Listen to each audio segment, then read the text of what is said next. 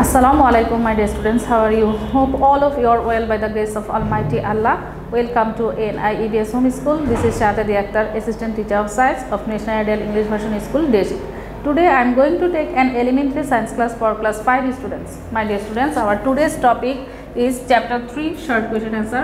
Our today's lecture number 11 and SW number also 11 my dear students let's start our class. This is chapter 3 short question. Today we'll discuss um, uh, short question um, from this chapter. Short question number one. What is the water cycle? The way that water moves all around the earth as its uh, as it changes its state is called the water cycle. I repeat the way the water moves all around the earth as it change, changes its state is called the water cycle Short question number 2. Give 3 examples of how we can prevent water pollution.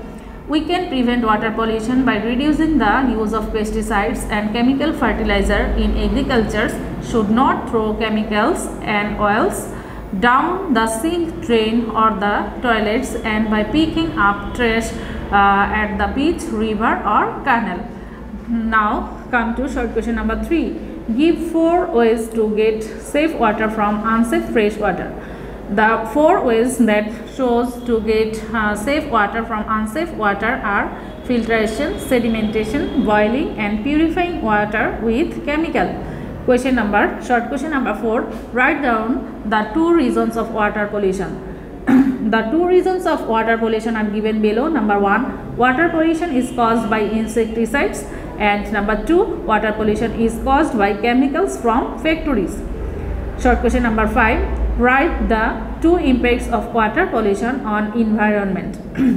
two impacts of water pollution on environment are given below. Number 1 water pollution can cause death of aquatic animals and disruption of food chains in water.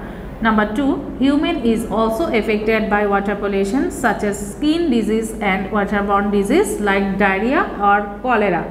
Short question number 6. Write down two ways of water purification. two ways of water purification are filtration and sedimentation. Short question number 7. What is arsenic? Arsenic is a poison which contaminated water. Arsenic is a poison which contaminated water. Come to short question number 8. After rain, there is a puddle on the ground. After a short time, the puddle of water disappears.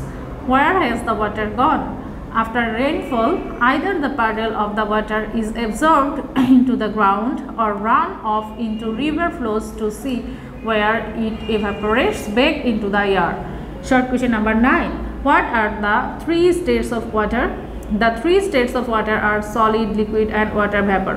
Short question number 10. What is water purification? Water purification is a process that makes water safe and drinkable for human. Short question number 11. How are clouds formed? Water evaporates from ocean and rivers rises in air. Then it cools and condenses into tiny droplets which accumulate to form cloud. Short question number 12. What is dew? The drops of water that form on cool surfaces such as grass and leaves at night are called dew. Short question number 13. What is condensation? Water vapor in the air is changed into water by cooling. The change of state from a gas to liquid is called condensation. Short question number 14. What is evaporation? When water is heated, it changes into water vapor. The change of state from a liquid to gas is called evaporation. Short question number 15. How will you get safe water from ponds water?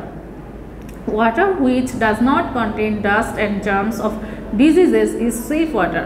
We get safe water from ponds water by filtration, sedimentation, boiling and purifying water with chemical.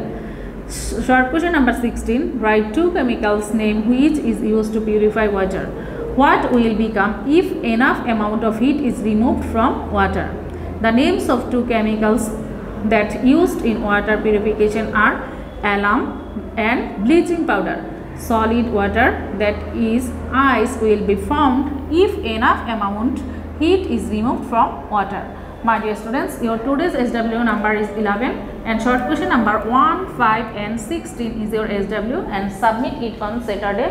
My dear students, I am telling again number 1, 5 and 16 is your SW. My dear students, I hope all of you have understood our today's topic. Learn properly all short question. See you again in the next class. Allah Hafiz.